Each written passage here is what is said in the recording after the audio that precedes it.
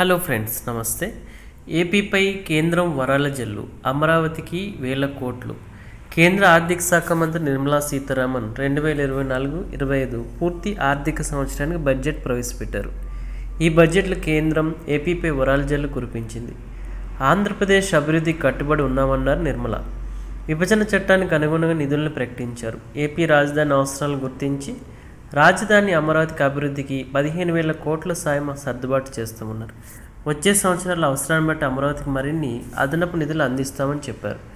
పోలవరం సత్వర నిర్మాణానికి సాయం అందిస్తామని ప్రాజెక్టు పూర్తి చేయడానికి కట్టుబడి ఉన్నామన్నారు. కేంద్ర మంత్రి నిర్మలా సీతారామన్.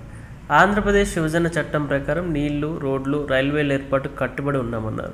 ఏపీలో వెనుకబడిన ప్రాంతాలకు కేంద్రం అండగా ఉంటుందని అభివృద్ధికి నిధులు కేటాయిస్తామన్నారు. రాయలసీమ ఉత్తరాంధ్ర ప్రకాశం జిల్లాలకు వెనుకబడిన ప్రాంతాల కింద నిధులు కేటాయిస్తామన్నారు పూర్వోదయ పథకం ద్వారా బీహార్ ఆంధ్రప్రదేశ్ జార్ఖండ్ బెంగాల్ ఒరిస్సాలకు ప్రత్యేక ప్రాజెక్టులను ప్రకటించారు. అలాగే ఏపీలో పరిశ్రమల ఏర్పాటుకు తోడ్పాటును అందిస్తామన్నారు విశాఖ చెన్నై ఓరోకల్లు బెంగళూరు మధ్య ఏర్పాటు చేయబోయే ఇండస్ట్రీ కారిడార్లకు నిధులు కేటాయిస్తామని ప్రకటించారు. అవసరాన్ని బట్టి బహుళ సంస్థల ద్వారా ఆంధ్రప్రదేశ్కు రుణాలు ఇస్తామని స్పష్టం చేశారు.